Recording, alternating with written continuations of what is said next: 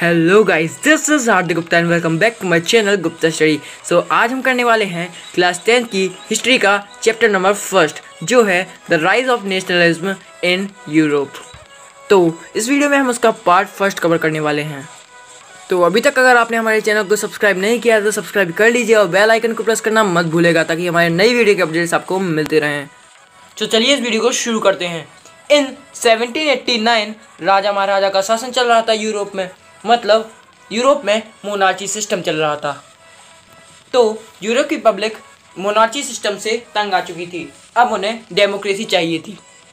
तो उन्होंने प्रोटेस्ट किया। उन्होंने प्रोटेस्ट किया तो उन लोगों की नीड्स को फुलफिल भी किया गया। तो अब, यूरोप में आ गया डेमोक्रेसी सिस्टम। इस रेवोल्यूशन में कुछ मेजर चेंजेस भी आए। तो फ़र्स्ट चेंज है, हर स्टेट से स्टेट जनरल इलेक्ट किए गए। सेकंड है फ्रेंच फ्रांस की नेशनल लैंग्वेज बन गई। एंड थर्ड है construction of uniform laws France में यूनिफॉर्म लॉज बना दिए गए। एंड देन जब ये बात पूरे यूरोप में फैल गई तो वहाँ के लोगों को नेशनलिज्म की फीलिंग आने लगी। स्कूल और कॉलेजेस के स्टूडेंट्स ने मिलकर क्लब्स खोल लिए। उनका नाम उन्होंने जैकोबिन्स क्लब रखा। और जो फ्रांस था, उसने अपनी आर्मी हर फॉरेन लैंड में भेज दी। और हर जगह अच्छे से नेशनलिज्म स्प्रेड की। तो ये तो हो गया फ्रेंच रेवोल्यूशन अब एट 1799 से 1815 तक फ्रांस में एक बहुत बड़ा चेंज आया। नेपोलियन ने फ्रांस पर रूल किया अब। नेपोलियन ने डेमोक्रेसी सिस्टम हटाकर फिर से मोनार्ची सिस्टम को स्टार्ट किया। और नेपोलियन के आने से फ्रांस की जनता बहुत खुश थी।